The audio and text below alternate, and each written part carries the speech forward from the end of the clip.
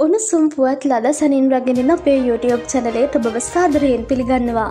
මෙන දැන් ලබුණු විශේෂ පුවතක්. සේවකයින්ගේ පඩි කැපුවත් විසි පස්වනිදා වෙන දේ මෙන්න.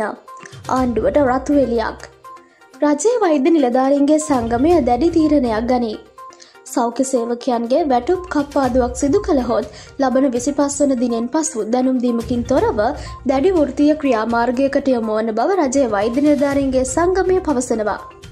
එම සංගමේ මාධ්‍ය කමිටු සාමාජික වෛද්‍ය චමිල් විජයසිංහ මහතා ඊයේ පැවති මාධ්‍ය හමුවකට එක්වමින් මේ බව සඳහන් කළා. මේ අතර රටේ පවතින ඉන්දන හිගය මත වියදම අවම කරගැනීම සඳහා රාජ්‍ය සේවකයන් වැඩට කැදවීම සීමා කරන්නේ නම් ඒ අනුව නිවසේ සිට රාජකාරි කරන සේවකයන්ගේ වැටුප් කප්පාදු කිරීමට සිදුවන බව පසුගියදා ප්‍රකාශ කළා.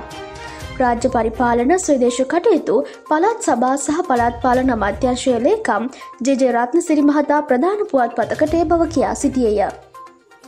මේ මොහොතේ රාජ්‍ය සේවකයන් කැදවීම සීමා කරන ලෙස යෝජනා කරන පිරිස් මෙවැනි වැටුප් කප්පාදුවක් සඳහා එකගතාවයක් පල කරන්නේ නම් ඊට අදාළ චක්‍රලේකය නිකුත් කිරීමට තමා සූදානම් බවද ලේකම්වරයා වැඩිදිරටත් සඳහන් කළා. යම් වියදමක් දරා සේවයට පැමිණෙන පිරිසට ගෙවන වැටු ප්‍රමාණයම කිසිදු වියදමක් නොමැතිව නිවසේ සිට රාජකාරී කරන පිරිසටත් ගෙවීම අසාධාරණ බවද ලේකම්වරයා සඳහන් කළා. මෙවැනි පුවත් එසරින් දැනගන්න අපේ YouTube චැනල එක සබස්ක්‍රයිබ් කරන්න අමතක